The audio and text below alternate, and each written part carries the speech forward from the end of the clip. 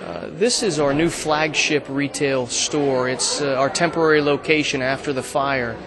And again, just uh, a lot of hard work and some great people and a wonderful community. We were able to open, reopen our store within one month of our massive fire, and we were just uh, just really so excited about being able to do that, and thankful as well that we were able to open that quickly.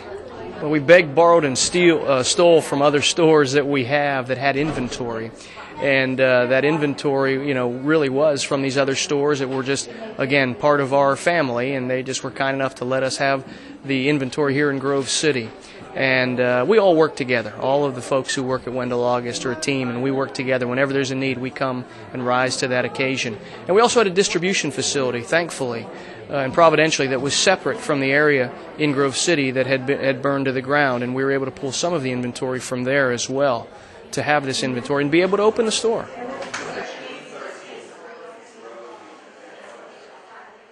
Handcrafted in America, made one at a time by hand. Every one of our metal pieces carries that signature, and it's one that we're really proud of uh, and, and very unique today.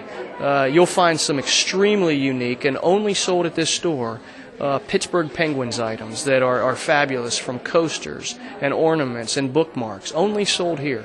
And our craftsmen are extremely excited to be making those. Uh, our stalwart dogwood pattern, which has been a bestseller. I was just talking to a guest who 47 years ago received one of our dogwood pieces for a, a wedding gift. Still as appropriate today as a gift as it was 47 years ago. Uh, we've got a great tradition, a great heritage, a great history, and one that we celebrate each and every day and we're just uh, thankful that it resonates with people. American made uh, really does. You know, people take great pride in, in being able to purchase things that are made right here in America and made right here in Pennsylvania. One of the things that, that we're doing with the aluminum tickets that were handed out at Mellon Arena is there was a promotion that the Penguins offered that uh, any uh, ticket holder that uh, received one of these commemorative tickets could come up to our, our newly reopened flagship store here in Grove City and have engraved uh, their section, row, and seat number into this uh, into the ticket. And so we have one of our master craftsmen here today, uh, and he's been here all weekend, and he is actually hand stamping and engraving in the the uh, the uh, details for each of the ticket holders of where they were that night at the game. And it's just a, it's a wonderful remembrance, and the folks are just tickled to death that we're able to do that. And we're doing that just at this store.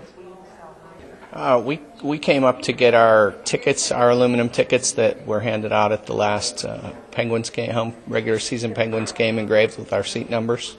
And uh, I think I think it's a pretty special thing, and we wanted it to be personalized, so we came up with the earliest opportunity. Well, um, really, my knowledge of the order was, you know, really started on Thursday uh, before the fire, uh, you know, early March there that uh, we had uh, received an order. Our salesperson, had, Christian, had worked with uh, the Penguins on, you know, achieving this order, and they wanted to do something special.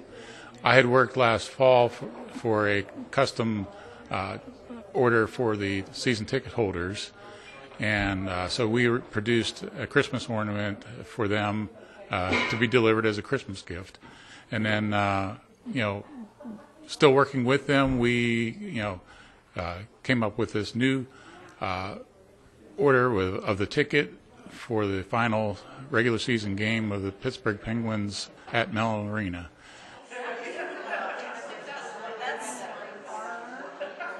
The new temporary retail store is located about one mile east of the 79 interchange here in Grove City uh, we're able to partner with great friends, and, and we're very thankful for the folks at uh, Slovak Folk Crafts who had a, a, beautiful facility that they were using the whole facility.